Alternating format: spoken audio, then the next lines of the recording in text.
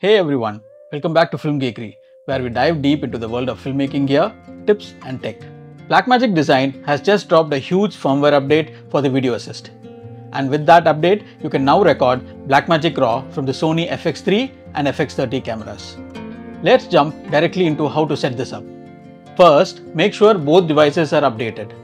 The latest firmware for FX3 and FX30 is version 7, and for Blackmagic Video Assist, it is firmware 3.22. If you want to know how to update the firmware on the Sony camera and the Video Assist, I've already made a detailed video on that. I'll place that link in the description. Now, on the FX3, hit Menu, scroll down to the last yellow tab with the briefcase icon, go to tab 11, External Output. Select HDMI Output Settings. Scroll down to RAW Output and turn it on.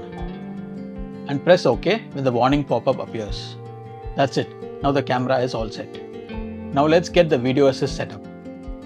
First connect your camera and Video Assist via HDMI cable. Now open the Video Assist menu. Select HDMI as the input. Go to Codec, select Blackmagic RAW. Finally choose the quality level you prefer. That's all. Now you can record B-RAW straight onto your Blackmagic Video Assist using a Sony FX3 or a FX30 camera. Now let's see some B-RAW footage we recorded using FX3.